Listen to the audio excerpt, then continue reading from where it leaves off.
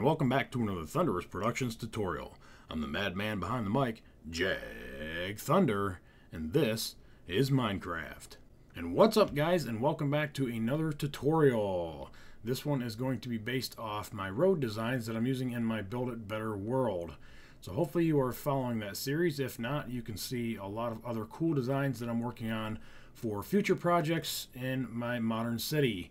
Uh, I just started the Modern City a little bit ago, and I'm using the regular two-lane roads right now. And I have other designs for some bigger and better roads with on-ramps and all kinds of cool shit like that. But we're not going to get into that tutorial, or that one for this tutorial. We're just going to go over some of the basic things, crosswalks, uh, the signaling here, road signs, some lamp designs, and uh, and uh, a bus stop. Sorry guys, I had to think a little bit. And uh, just go over, like I said, just a few things just to get you started. It's been uh, several several requests to uh, to do this. So we're going to get started. I'm going to fly down here to the other end of my modern city, let you kind of take a look at what I've got going on. If you're not following the city builds, be sure to check out season two of Build It Better.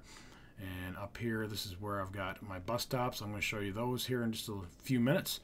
And like I said, this should be a pretty quick, painless tutorial. Should be really easy and give you some really good ideas. Now, I'm building mine specifically for a custom world.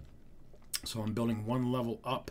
Uh, so obviously you guys will build yours down in the ground. So I'm going to build mine on top the ground just uh, to continue on what I'm doing here. But the basic design is easy. I'm using hardened clay or stained clay. I'm using the dark gray. You can use cobblestone, stone, uh, whatever your preference is. I'm using yellow stained for the middle and regular white stained for the white stripes and the markings. So again, like I said, you can mix and match your materials for whatever you want to use for your design. These roads are based so that the uh, my cars that I have for my tutorials, all of my different vehicle tutorials, will fit on these these roads just fine. The only one that will not fit is the double-decker truck. Uh, will not fit under the light, so don't use that one. not in the uh, not in the lower part of my downtown area, anyways. Uh, for my highways and stuff later, that's that's probably where I'll use that. But other than that, all my other vehicles will fit under the lights. Not like they're going to be moving anyways. But anyhow, so we're going one, two, three, four, five, six, seven on each side. Two, three, four, five, six, seven. That's how wide our road is. Really, really simple. White stained clay, white stained clay. We're going to use our yellow in the middle. And then again, outline it with our gray. So that is our main road. it's really fucking easy. Um, like I said, it was, it was going to be fucking easy. That's it. Tutorial's over. but anyways, uh, as, as far as getting into your crosswalks and um, your intersections, this is obvious, obviously a three-way intersection. Now, what I do with uh, with mine is I've got a sidewalk that is one, two, three, four, five, and again one, two, three, four, five going this way. I wouldn't recommend going too much smaller than that uh, unless your buildings are really, really small or you're not using my vehicles and you want to do a three wide um, uh, road here or a five, uh, five, five wide road. Um, if you're not using my cars, then obviously you're going to scale this down a little bit. Um, if you're going to go bigger than this, then uh, your world is going to look weird unless you got some really big fucking cars. but I wouldn't recommend going any wider than this. As far as your yellow markings down the road and your regular paint markings, just think of it as a regular road. If uh, if you wouldn't pass in your vehicle on it, don't make them dotted. Uh, a lot of people make your your roads in your downtown area dotted, and uh, I guess it's just a habit that everybody does. But uh, correct paint markings you would not pass in the middle of downtown area. So I personally feel that it looks better as a solid line. Any of your open areas, as far as your intersections, or if there is, I don't think I did it here because it was so close to the light. Uh, usually I leave this solid. I think I did it down here a couple places. Uh, yeah, like right here. So if you have like a, uh, uh especially the fire department where they come out, I left a big opening between the paint uh, if it looks like it's not going to quite fit right, and I think that's why I did it in front of the church, or just plain forgot, uh, go ahead and leave the paint markings off or leave them on, whatever your preference is. Uh, so that's pretty much some of the pointers that I can give on the, the paint markings. Your striping, again is one, two, three, four, five. I make it five wide. That way it matches with your sidewalk. It looks more consistent. Again, if you go three wide, you're going to go three wide. If you go five or seven, seven wide, you'd go wider with the paint or whatever uh, other openings that you may have. So if you've got a bigger uh, opening coming out of a different building, you want a crosswalk there. Uh, again, that will be your preference how you want to do that. Uh, my bigger roads that I have, there's more lanes of traffic. So on my crosswalks, I actually have the the other paint markings going this way. And again, with the, the width of this road, the way it works out, as long as you do uh, odd numbers, you'll always be able to start on the first one and on the, fir- uh, the first one on this side and go every other paint marking should be a white one and it will always uh, always line up. You'll never have a double line touching each other. So that's that. Now I put in some water drain systems, uh, really, really easy. Underneath the sidewalk, I put the glowstone and then put my trapdoors on top of it and then filled the bottom in with light gray wool. Now you could go down one more and fill in with water and then close it back up. That way when you look down in there, it has some water. My original design had that, uh, and it just got to be a pain in the ass when I started getting moving and throwing my roads in, stopping to put all the water in, and uh, that's why I didn't do it in this world. Now as far as your lamp post, uh, I try to line my lamp posts up uh, one block in, and again, the reason I put lighting here is so at nighttime, this lamp post kind of, it looks like it cascades down and the light uh, trickles out. It looks a little more natural that way.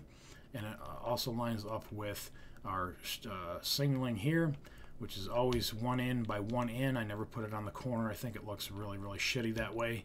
So this looks a lot neater to put it in one by one. And on the opposite side I put a street lamp just to kind of hold uh, the, the whole theme here, especially on a, a three-way intersection. A four-way intersection, obviously, there's going to be another uh, um, signaling signaling light on this side, uh, a 90-degree turn, won't have these. So I just usually put the lamp posts on each corner and build the crosswalks accordingly. Again, you can watch the Build It Better series. Uh, I think it's probably episode three or two where I'm talking about my roads to get a little more idea and designs on that. Now, as far as the signaling light, this is 11 high, so I use stone and I go one, two, three, four, five, six. On the sixth block, I put a iron bar and a regular hardened green uh, clay and that's where I put my road sign. Obviously, the way you're going, that's where your sign should be on. And then that's where I start the bottom of my light system, which is a cobblestone wall piece here. Two pieces, one out, and then a piece of glowstone. So that is on the sixth block. Seven, eight, nine, ten, eleven. And then I surround both sides with the trap doors just to kind of give it a, uh, a thicker look. I know that sounds bad, but whatever. 11 and then I've got one here, and we're going to get a little bit of rain action. Let's get rid of that. I go one diagonal, and then I've got 10 across the top. So one, two, three, four, five, six. Again, on the sixth one, if you follow this design, that will land you right in the middle of this lane. So you have, you know, three on each side, and it looks centered. So that's on the sixth block. Seven, eight, nine, and 10. And then I go ahead and I cap the end with a uh, trap door and then I cover the top with some carpet pieces. If you do not have those, you can use slabs just to cover up this piece right here. Again, I put a piece of glowstone in there just to capture a little bit of a light source from the, the actual signaling device. Now again, on the signaling device, it's just the three solid black pieces of either wool, bedrock, uh, coal, whatever you want to use, surrounded by trap doors. Item frames with your red, yellow, and green light uh, blocks accordingly. If you don't have those, you can just use a red, yellow, and a green uh, block of wool. So that is pretty easy for that. Uh, your lamps, uh, two stone on the bottom, and it's one, two, three pieces of your cobblestone wall, and then a lamp on top. Uh, I, you could probably go one more if you want to stay even with the other lights. Uh, but I like mine just one one shorter than those. I, I think it looks better. But anyways, that is that for the lighting. We'll go over the parking lot lighting here in just a minute. Uh, the bus stop, super, super fucking easy. All we do, using this design with the uh, quartz half slabs or stone half slabs above the road, which I forgot to mention in the beginning. Um, a lot of people just have their sidewalks right flat with the road. Reason being is it makes it really easy for your buildings just to run your sidewalks right into your buildings. When you build it this way, you've got to be a little more creative on uh, how it goes into your buildings. And I'll, I'll go over here to the fire station and some of the other buildings, and we'll take a look at that in just a minute. But I think it gives it uh, more depth and it gives it a lot more character and looks a lot more realistic if you use uh, half slabs for a curb design. Uh, anyways, back to the bus stop. One, two, three, four, five wide by one, two, three. You're going to have three pieces in the middle. So you'll have a horseshoe shape that is three by five by three. You're going to put down three fence posts, three pieces of stairs for a seating material, and then you're going to go one, two, three pieces of pane glass and just connect them all the way around, and then cap it off with your favorite half slab material. Put a bus stop sign on top, and bam! Super easy. Uh, now I've put some trash cans around my world, again, just to keep it uh, looking a little more realistic. Uh, someplace to for people to throw the trash. Really simple. Two blocks, four four buttons around the outside, and a weighted pressure plate on top, or a regular pressure plate, or a carpet piece, whatever you want to use for that. All right, now as far as going into your buildings, uh, again, you just drop down the sidewalk. Really, really simple. Um, some of them you want to run the sidewalk across the front and leave a drop down right here. Uh, just think of different ways you can actually raise your building up and trim the outside and your half slabs and run the half slabs right into the building. And then you'll have another step going up, especially in your uh, skyscrapers and stuff like that. Just build it one block higher than you normally would. Build the floor up instead of building the floor at this level. You'll build it one more block higher, and that's where you'll start all your floor design. And you can run your half slabs right up to the door, and you'll be able to walk straight in with just one little half step going up, and it will blend in just fine. Now the other building I have over here is my museum. Again, for like gas stations and stuff like that, uh, this is what I did on this one. I stepped it back back here so it wasn't quite as obvious. So around the outside, it looks just it looks normal, like a flat sidewalk going around it, like a lot of people have.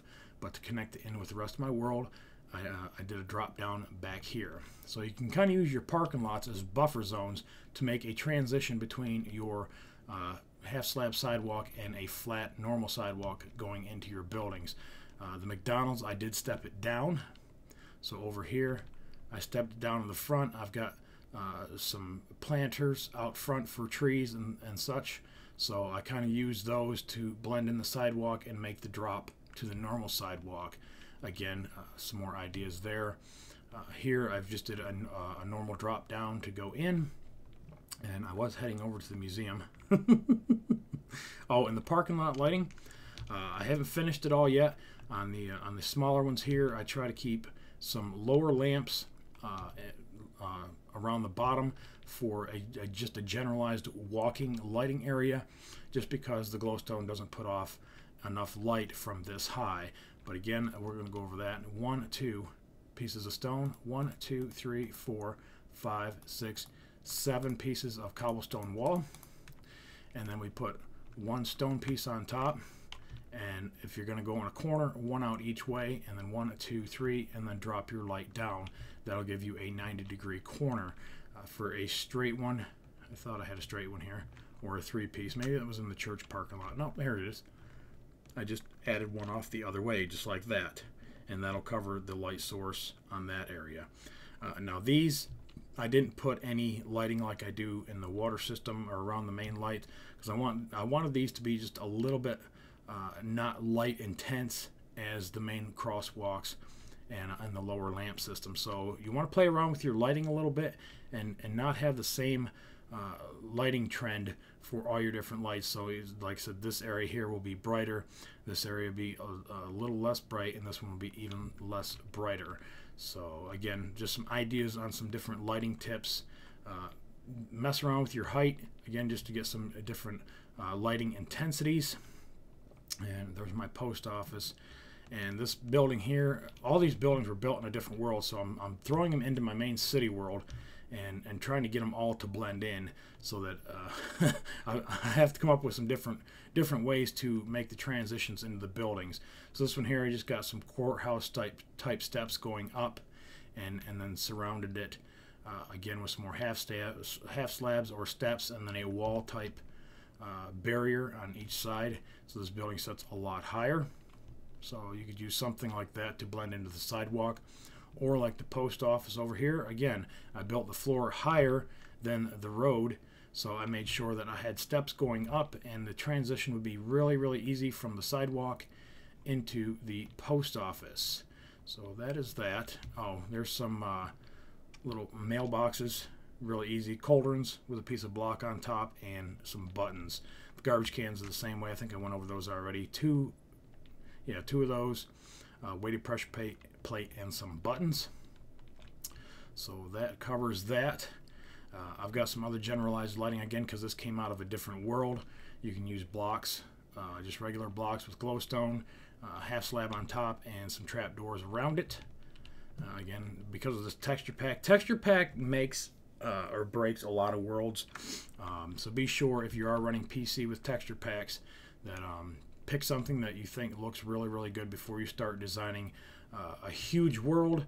Uh, otherwise, you get halfway through it and be severely disappointed when you start trying to do other things.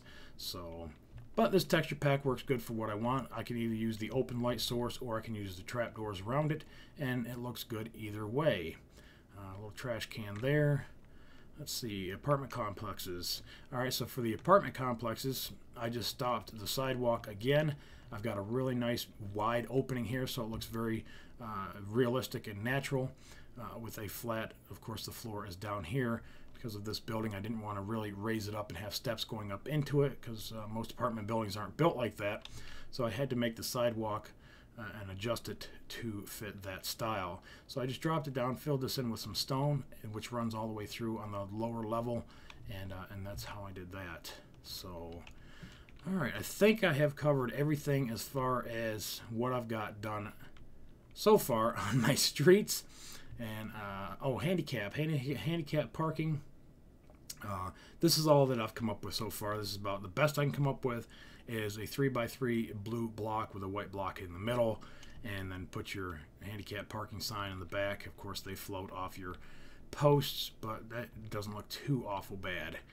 And I yes, now I think we are done. Went over the bus, the bus stops and Again, paint markings went over all those. They will change. Just think of, again, how a, a, vehicle would drive and ones that you see in the real world. Makes it a hell of a lot easier than guessing at it.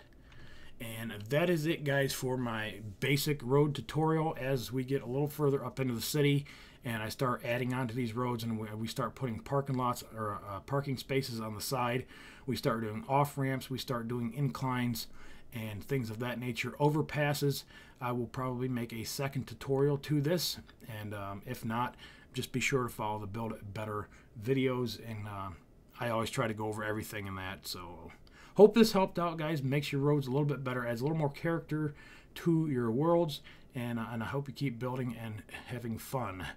That's all I've got. Remember to rate, comment, subscribe. Follow me on Twitter, and I'll catch you guys on the next one. Later.